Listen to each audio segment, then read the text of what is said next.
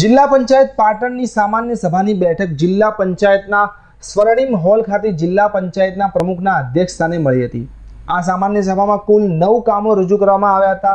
તો આ સભામાં ઉત્પાદન, સહકાર અને સિંચાઈ સમિતિ અને મહિલા બાળ કલ્યાણ યુવા પ્રવૃત્તિ સમિતિ અને શિક્ષણ સમિતિઓની મુદ્દત પૂર્ણ થતાં પુનઃરચના કરવા વોટિંગ કરવામાં આવ્યું હતું. તો આ ત્રણેય સમિતિઓમાં ભાજપે સત્તર વિરોધી તેર મતોથી ત્રણેય સમિતિઓ હાંસલ કરી હતી. તો કારોબારી સમિતિ, જાહેર બાંધકામ સમિતિ અને આરોગ્ય સમિતિમાં સભ્યોની નિમણૂક પણ કરવામાં આવી હતી.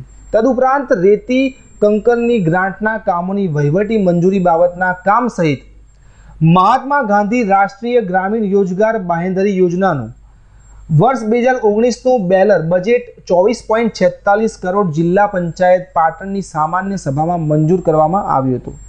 તો અધ્યક્ષ સ્થાનેથી કાશ્મીરમાંથી ત્રણસો સિત્તેર અને પાંત્રીસ એ કલમ નાબૂદ કરાતા તેઓને અભિનંદન પાઠવવા ઠરાવ પણ કરવામાં આવ્યો હતો. તો આ બાબતે જિલ્લા પંચાયતના પ્રમુખ વિનુભાઈ પ્રજાપતિએ આજ રોજ મળેલી સામાન્ય સભામાં થયેલા કામો અંગે વધુ માહિતી આપી હતી.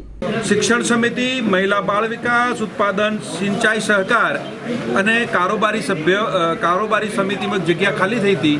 સ્વર્ગસ્થ મહાદેવબાના અવસાન બાદ અને અપીલ સમિતિમાં, આ બે સમિતિઓમાં ઉમેરો કર્યો. પહેલી ત્રણ સમિતિઓ નવીન બનાવવાની હતી. એ નવીન સમિતિઓમાં એકત્રીસ સભ્યો હાજરમાંથી સત્તર વોટ આ સમિતિઓને મળ્યા અમને. તેર વોટ સામે સમિતિઓને મળ્યા. એમ શિક્ષણ સમિતિ, મહિલા બાળ વિકાસ બાળ વિકાસ, ઉત્પાદન શિકાર સંચાઈ, કારોબારી સમિતિનો ઉમેરો, અપીલ સમિતિ. એ સમિતિઓનો જે ઉમેરા કરવા પાત્ર હતા એ તેર સત્તર વિરુદ્ધ તેરથી બહુમતીથી આપણે એમાં ઉમેરા કર્યા અને નવી સમિતિઓની રચના કરી. ગેરહાજરમાં દશરથભાઈ ભીલ કોઈ સંજોગો વસત ગેરહાજર હતા.